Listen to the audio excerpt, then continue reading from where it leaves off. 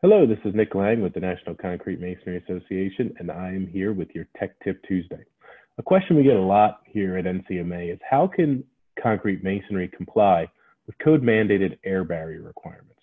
Back in 2012, the International Energy Conservation Code added some specific requirements for air barrier materials, assemblies, and overall building air leakage with the intent of reducing the energy used within buildings due to air leakage and air loss. Now, contained within those requirements were a series of performance requirements for yeah, either a material, an assembly, or the entire building, but also some deemed to comply options that were written into it.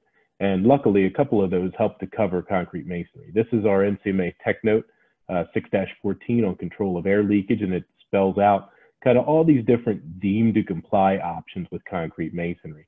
And we have a nice chart here that shows a couple of the different options, such as fully grouted units, uh, putting exterior uh, taped insulation on, or masonry coated with um, a couple of different types of either high quality latex paint, commercial grade latex paint, or masonry block filler.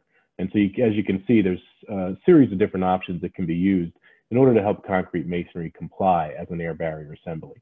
Now, in addition to this tech note, we also have a frequently asked question, 03-14, that's kind of a short version of specifically that information, which covers the requirements for different materials and then all the different options out there for concrete masonry uh, in, in order to comply. So I hope this helps to answer any questions about code required air barrier requirements. As always, if you have a question that we can help to address, please leave it in the comments and we'll get to it on a future Tech Tip Tuesday. Thanks a lot. Have a great day.